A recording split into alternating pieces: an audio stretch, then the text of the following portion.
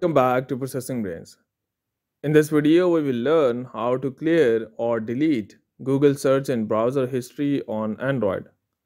So here I have my Android phone and to clear and delete Google search and browser history, you need to simply go and open up any browser. In my case, I'll open up Chrome. And here go to the URL bar at the top. Here you need to type in for my my just go and cancel my activity.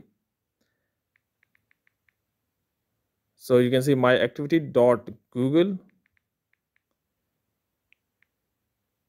dot com. So here you can see my activity dot google dot com. Press on go at the right bottom corner. So here we are. It says us to sign in. So simply go and sign in so it says signing in. So here we are.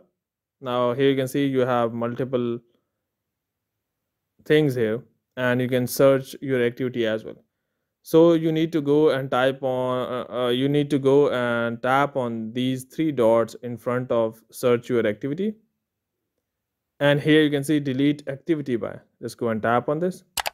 Now here you can uh, select last hour or last day or you can tap on all time or you can go to custom range as you want. And for example if i go and select maybe last hour just go and select that. So once you have selected it it's not appearing. Just go and wait. Here you can see. It says confirm you would like to delete the activity. Just go and tap on delete. So it says deleting now